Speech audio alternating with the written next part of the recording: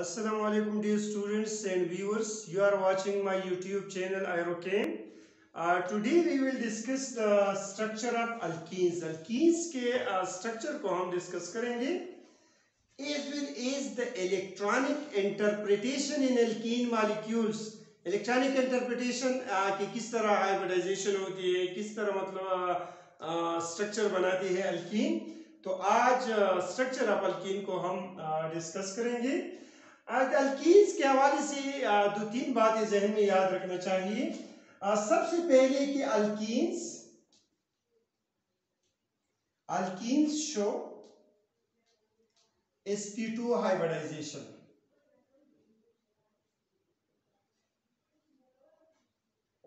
alkene show sp2 hybridization alkene में sp2 hybridisation होती है।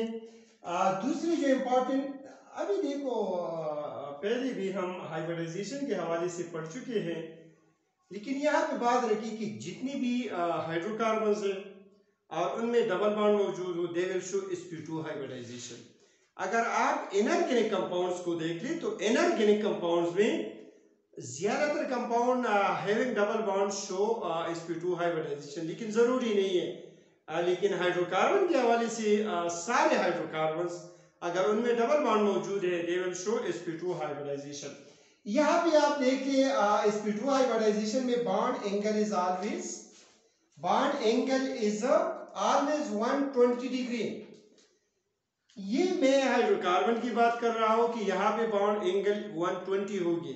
इनऑर्गेनिक कंपाउंड में पर बॉन्ड एंगल डिविएट कर सकता है due to the lone of electrons और द इलेक्ट्रोनिगेटिविटी ऑफ़ एटम्स वगैरह की वजह से वहाँ पे डिविएट कर सकता है। लेकिन हाइड्रोकार्बन में ये बॉन्ड 120 डिग्री होगी अगर आप देखिए geometry geometry of alkene of alkene is planar overall अगर आप जनू ज्योमेट्री देख ली तो ये प्लेनर इसकी ज्योमेट्री है। अब हम आते हैं कि किस तरह अल्कीन्स में sp2 हाइब्रिडाइजेशन होती है। टिपिकल हम एक एग्जांपल लेते हैं। फॉर एग्जांपल इथीन मॉलिक्यूल का हम एग्जांपल लेते हैं और देखते हैं कि किस तरह sp2 हाइब्रिडाइजेशन होती है और किस तरह प्लेनर ज्योमेट्री इज़ फाउंड यहाँ पे आप देखिए अल्कीन में डबल बॉन्ड है, दो कार्बन है और चार हाइड्रोजन एटम्स है। यहाँ पे हम कार्बन नंबर वन को लेते हैं carbon number one the atomic number of carbon is six अगर आप देख ली इसका जो इलेक्ट्रॉनिक कंफिगरेशन है one is two two is two and two B two अगर आप देख ली वैलेंस में कार्बन के फोर इलेक्ट्रॉन्स हैं और वैलेंस इलेक्ट्रॉन बॉन्डिंग में पार्टिसिपेशन करते हैं यहाँ पे जो टू एस ऑर्बिटल है टू एस ऑर्बिटल में आ, दो इलेक्ट्रॉन हैं। यहाँ पे पी सब शील अगर आप देखें तो यहाँ पे तीन ऑर्बिटल्स हैं। एक को हम कहते हैं two P X two P Y और एक ऑर्बिटल है टू पी जेड यहाँ पे आ, दो अनफेड इलेक्ट्रॉन हैं और ये जो टू पी जेड ऑर्बिटल है इट इज़ ये वेकेंट है। इसको हम कहते हैं ग्राउंड स्टेट ऑफ़ कार्बन ये ग्राउंड स्टेट है। यहाँ पे एक बात जहन में याद रखिए in ground state carbon shows carbon क्या है? तो टू अनपेयर इलेक्ट्रॉन है, जिसका मतलब है कि कार्बन डायवेलेंट है। लेकिन इन एक्चुअल प्रैक्टिस अगर आप देख ले तो कार्बन टेट्रावेलेंट है, चार बॉन्ड बना सकते हैं। This shows that one electron is promoted from 2s two 2pz orbital एक इलेक्ट्रॉन 2s से प्रोमोट होता है। टू पी जेड ऑर्बिटल में ऑलरेडी टू पी एक्स में एक इलेक्ट्रॉन है, टू पी वाई में एक इलेक्ट्रॉन है, और ये जो टू पी जेड वाला इलेक्ट्रॉन है it has been promoted from two S to two P Z.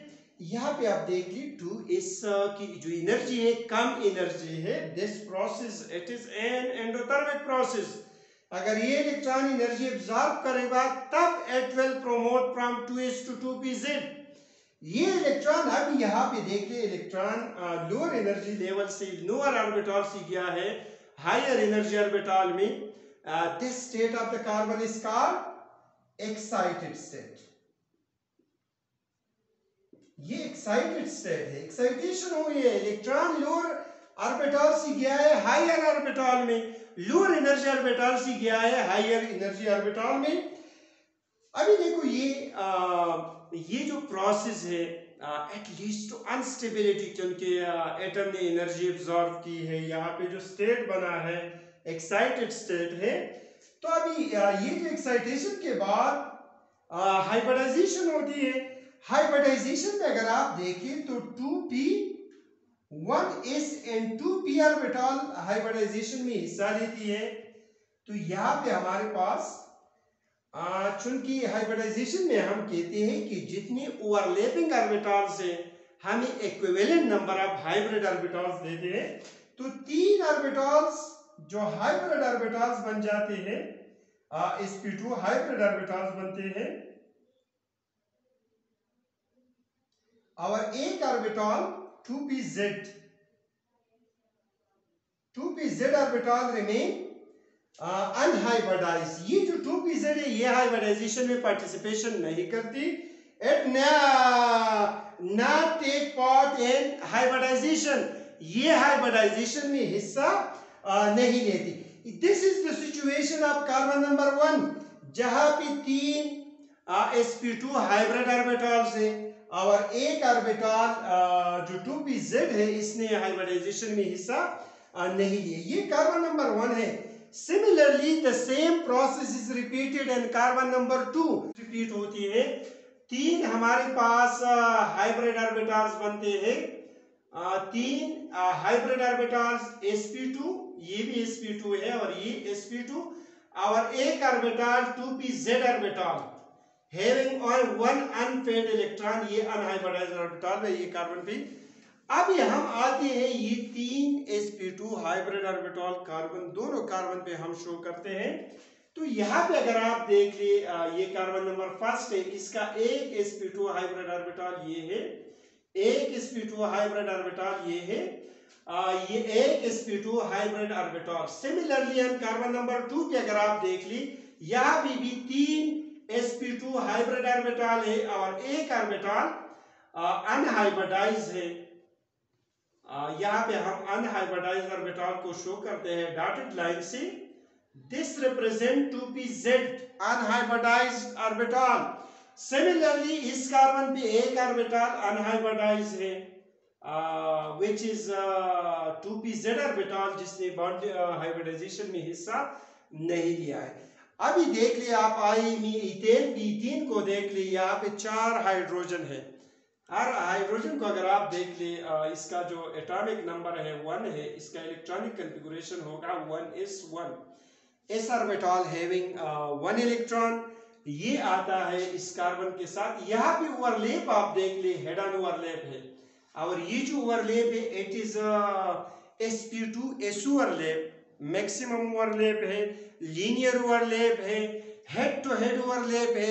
इसके नतीजे में स्ट्रॉन्ग बॉन्ड बनेगा which called sigma bond similarly दूसरा जो हाइड्रोजन एटम है, उसका एस ऑर्बिटल आता है। यहाँ पे भी sp2 एस ऑर्बिटल ओवरलैपिंग होती है ऑर्बिटल्स की।